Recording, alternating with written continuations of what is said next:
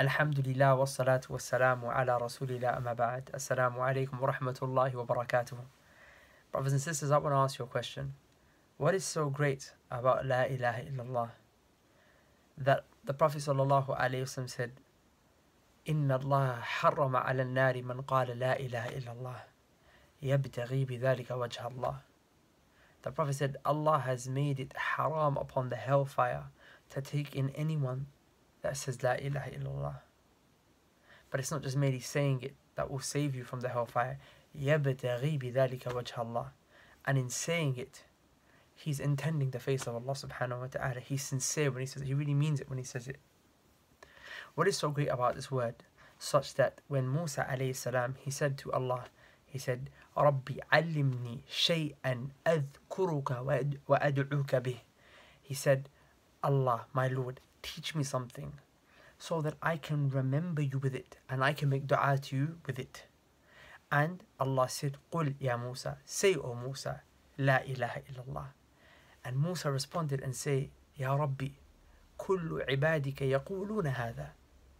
Allah, all of your servants, they say this. Every single one of your servants, they say this. He's, he's, what he's saying is, I want something exclusive for me. Everyone says, La ilaha illallah. I want something that's something that's a bit extra, a bit extra special.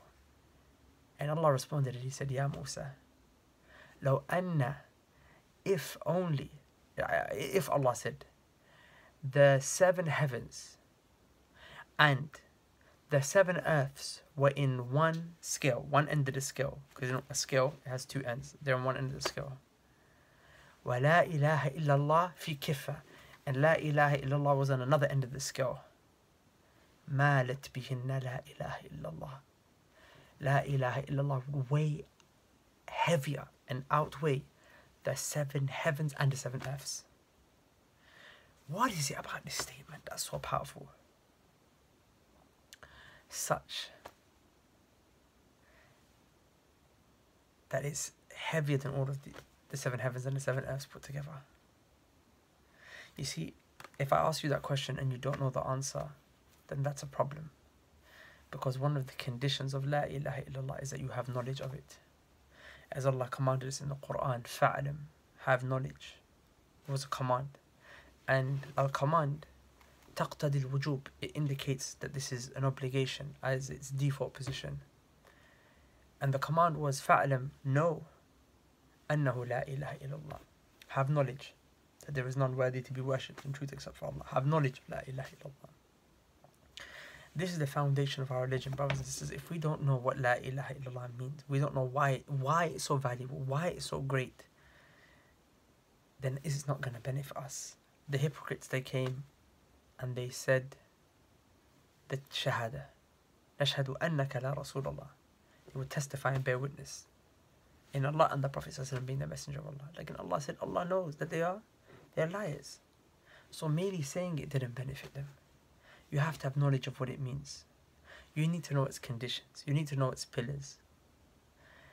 Brothers and sisters, that's why I've started I'm starting a class tomorrow, Wednesday, this week, in Acton, West London, inshallah ta'ala. We're going to be studying La ilaha illallah. There is nothing more important than this for you and me to study.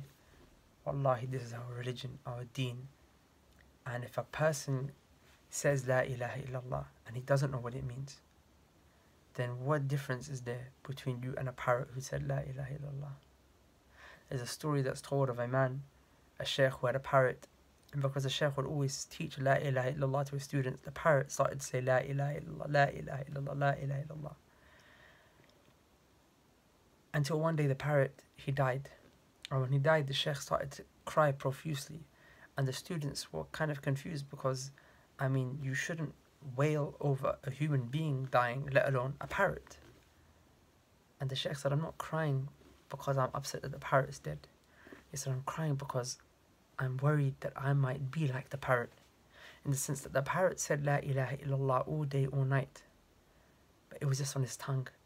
It wasn't in his heart. Because he didn't know what he was saying. So he said, well, I'm scared that I'm just saying La ilaha illallah on my tongue.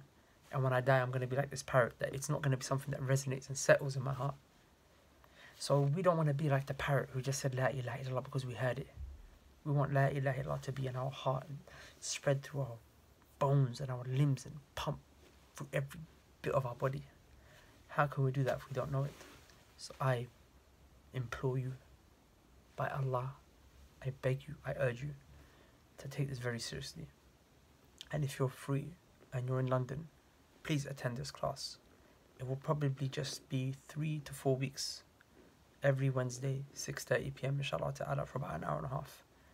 And we will hopefully inshallah ta'ala gain a good understanding of what La ilaha illallah means. So I hope to see you there and I ask you please share this video in all your WhatsApp groups.